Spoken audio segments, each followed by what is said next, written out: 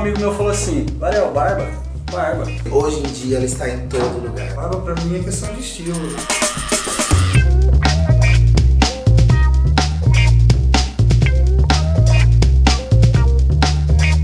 Por que não? A barba hoje é personalidade e também incrementa muito o look visual dos homens. É isso aí, só dá uma lavadinha, um shampoo. Eu gosto desse estilo barba maior, assim, mais estilo lenhador. Cada um usa do jeito que gosta, né? Valeu.